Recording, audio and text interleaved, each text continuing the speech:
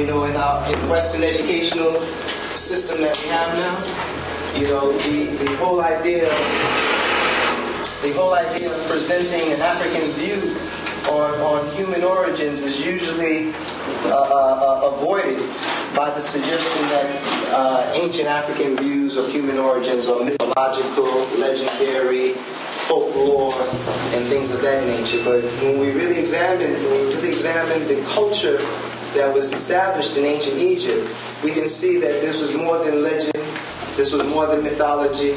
This was really an attempt to, when, you, you're talking about uh, uh, what we know as, uh, what we are commonly referred to as the Star of David. Well, really in ancient Egypt, this was looked at, this was called the Star of Creation. And when you're looking at this star, the Israelites call the Star of David, you know, you're really talking about two inverted pyramids. And really the idea that this star represents is a principle that as above, so below. As in the heavens, so it is as well on earth. And when, we, when we're looking at the layout, when we're looking at the construction, when we're looking at uh, the principles of how life was lived in ancient Egypt or ancient Kemet, you know, this was this is a this is a, a central a central uh, philosophy that, that comes clear. All right.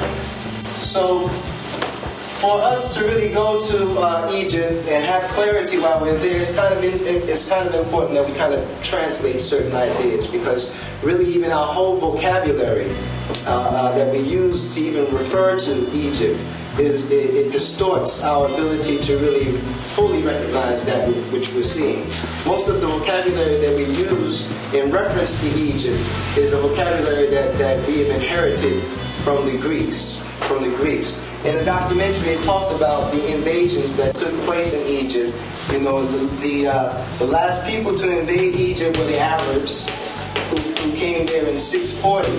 And so when we go when we go to Egypt uh, uh, next month, you know, to a large degree, we're going to be seeing we're going to be seeing a, a, a large Arab presence, and they've been in they've been in Egypt from from uh, this particular date, 640 A.D.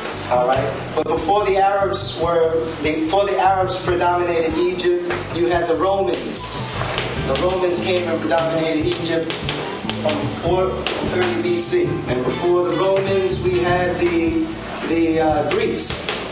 And the Greeks came as as early with Alexander, the so-called Great, in 332 BC. And before the Greeks, you had you had the Persians you know, some Eurasians that invaded around 525, I believe, BC. All right, but and so this really marks the end of African uh, uh, African uh, predominance in this particular region. The, the predominance of Africans in this region ended around the invasion of the Persians. And so from, from, from 525 BC up into today, Egypt has not really been been uh, run by Africans, but it's important that we recognize the dates that do apply.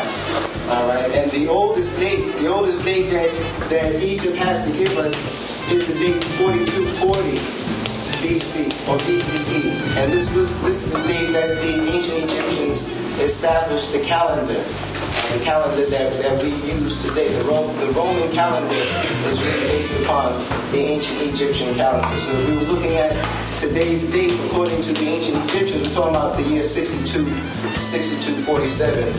Uh, uh, 6247, uh, looking at the Kemet worldview. Of course, this would be 2007 Rome. All right.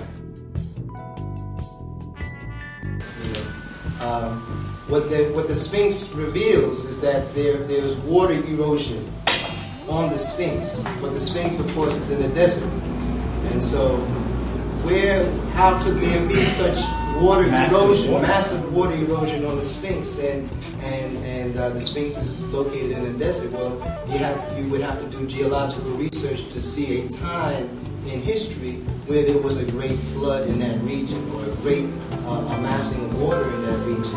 And the date that geologists have found uh, where there was a great flood is the date we were talking about this earlier today, Brother Julian, that 10,000 BCE, actually from 70,000 BCE to 10,000 BCE, this marks this marks what they call the last stage of the Würm glaciation period, otherwise known as the Ice Age. And so there was a 60,000 year period, you know, as, as even the documentary showed, where the axis of the Earth uh, shifts and tilts from time to time.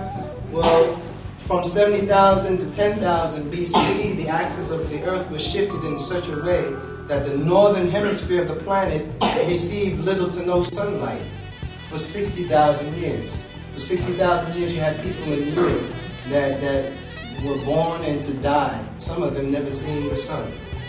All right?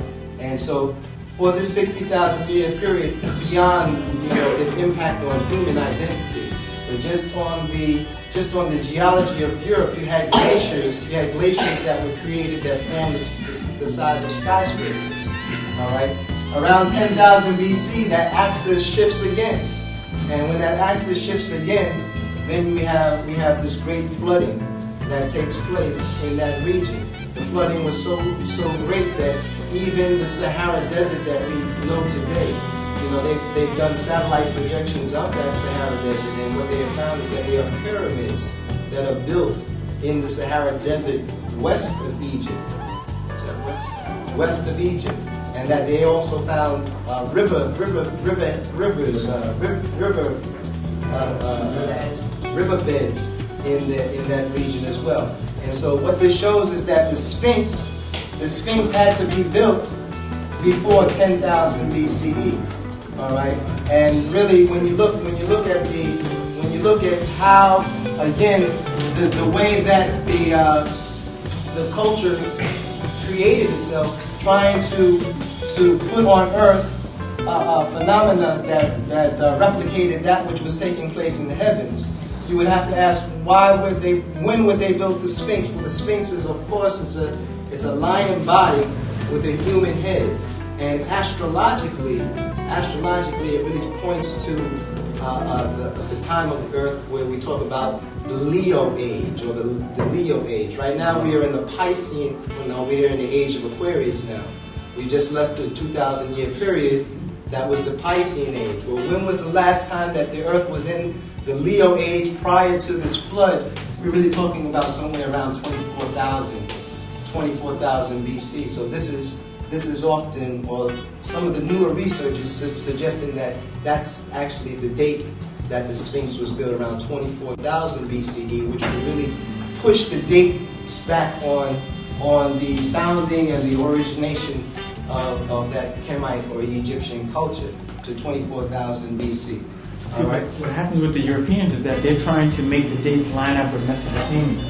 Right, right. That as well. See, that as well. All right. And so, but to really talk about Egypt, you really have to, we really should be operating from an indigenous, indigenous language. We should really try to, to capture the indigenous language. And the language actually helps us clarify that which we see in Egypt. That the language that we use, when we say the word Egypt, we're really speaking Greek. That the Greeks really named Egypt, Egypt, and the Greeks really named the language or, or retranslated the language to what we are commonly what we commonly refer to the language. What, what, do we call the language of Egypt today? The written language, you know it. It is called. It's called hieroglyph, right? Right. It's called, called hieroglyph.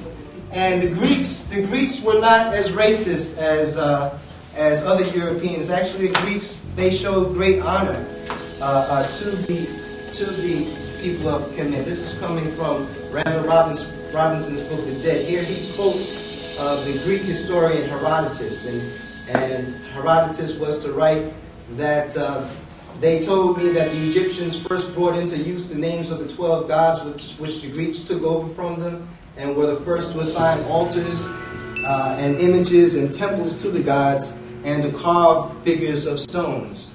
And so the Greeks, Herodotus, Plato, Socrates, they really honored and really worshipped uh, the Egyptians as, as the gods and goddesses of the planet. It's really not until, not until the 19th century, until a later period in European history where they tried to fabricate and rewrite much of the history that this new perspective of Egypt being other than an African culture, African civilization, has manifested.